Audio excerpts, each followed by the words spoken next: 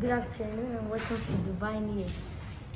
Tuesday afternoon, there was a girl named, there was a scientist named Alice. She was 13 years old and she was researching if sharks eat humans, yes or not.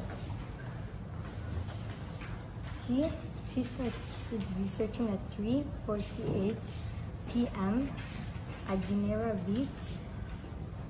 She found two sharks. She found one shark to research on, and she discovered that the sharks, that the sharks have good vision in the water, and they're very friendly.